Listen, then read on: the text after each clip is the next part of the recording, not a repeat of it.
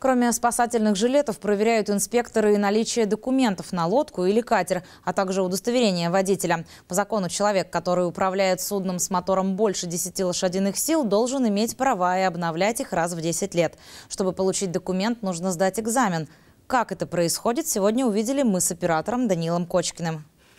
Волнуются и ожидают своей очереди. Все как перед экзаменом в автошколе. Только эти кандидаты после теории вождения будут сдавать не на легковом автомобиле. Назад посмотрели, когда вот двигатель смотрит, и уже только тогда поехали.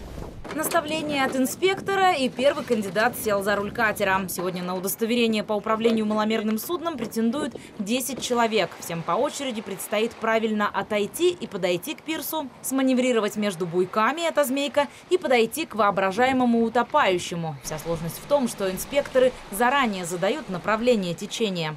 Они должны сориентироваться по течению и против течения, где с какой стороны оставить буйки, и то есть правильно подходить уже к утопающему.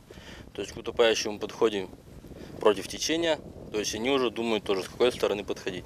А еще отмечают кандидаты не просто привыкнуть к незнакомой лодке. Вот и Алексею Архарову понадобилось некоторое время. Змейку прошел без особого труда, а вот задание «Подход к утопающему» заставило немного поволноваться. Ну как сложно? Не очень сложно, но больше всего переживал за него. Нужно грамотно подойти и за расстояние. Больше всего боялся бортом зацепить. Ждет своей очереди и Вера Буркова. Она единственная женщина в этой группе, сдающих экзамен. Да и в следующей, вероятно, тоже констатируют факт инспекторы ГИМС. За год бывает всего 4-5 претенденток женского пола. Вере права на лодку понадобились, чтобы рыбачить. У меня нет пока ни мотолодки, ни катера, но я думаю, яхту купят.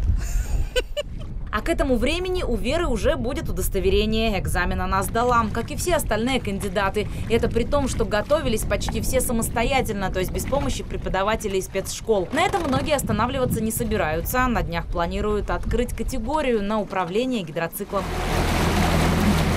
Светлана Колышницына, Даниил Кочкин, Бюро новостей Давича.